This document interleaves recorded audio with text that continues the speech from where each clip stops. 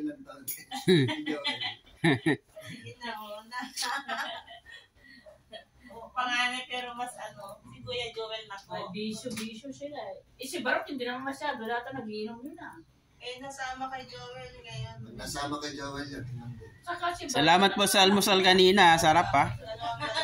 Anong almusal yun? Ah, sarap. Tuyo, tsaka itlog. May kamatis. Ando, natuwa kami dun sa ano. Punta namin dun sa Sa ano, sa sa... kila Lola. Uh, anong anong? Sila mag- Naka-vlog kayo, Kuya. Ano, Malunggay na bulaklak. Naka-vlog kayo, Kuya Jules, ha? Masarap. Sarap eh. Sinalad na palaya. Oo, sarap. Meron pa yung ano, di ba? Yung Si bulaklak.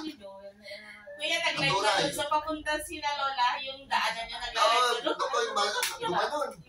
Ay, walang, walang ano, signal. Ah, oo nga, wala. Walang signal. May mga walang kasama si Ito nga, nahirapan. Yung ganun. baba. Saan kayo kuya sa paninaan kayo dumaan o dito sa ano? Nung Pag nagawa gabi, yung doon sa bakit mataas. rin? Ang Yeah. kinabukasan, sabi ko, Dito na lang kayo. Oo, malayo lang. Oo. Bakit yung lalaki lalaki? Ikaw na- ng babae. Oo. Parang parang first time ako eh. ano. Parang first time ko. Nag-enjoy ka lang rin. Ah. Nag-enjoy ka doon. Ang first time ko dito. Wala eh. Kasi punta ko rito eh. Tagal-tagal na.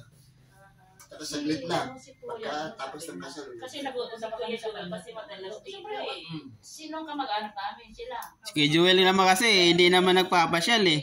Oo. Iinom lang na ng ilaw. Nagkikijahmis lang kay kinaarap. Oo. Tsaka nung pumunta ako dito, walang pinuntahan.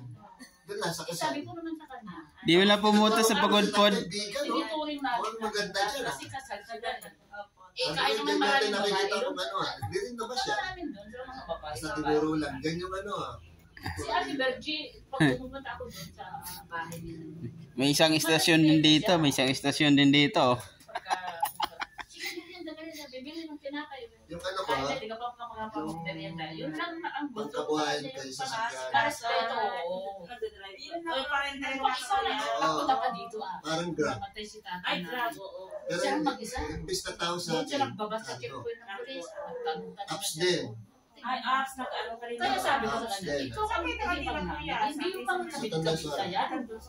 Eh, Eh, Si tatay yung pinag-abroad na, isa. Oo. Eh wala, hindi na kilala nga